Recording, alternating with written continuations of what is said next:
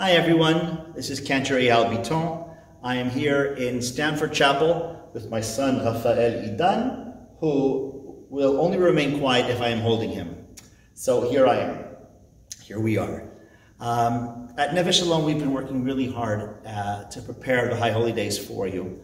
And uh, as you know, it's a, the, the main service is a pre-recorded pre-recorded service. And um, we're gonna give, I'm gonna give you a, a few snippets, a few clips uh, of what's to come.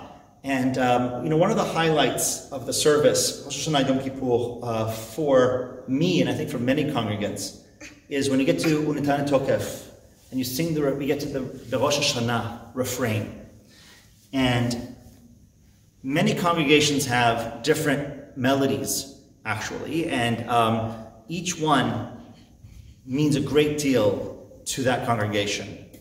It's a beautiful uh, text that tugs at the heartstrings and um, speaks to us in many ways.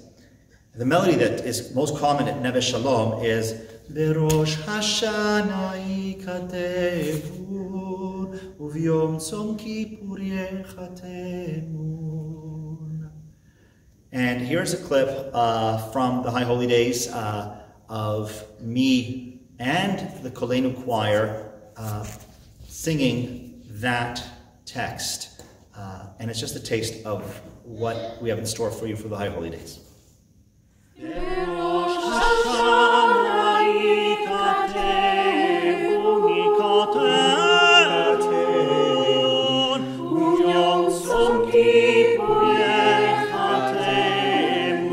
echate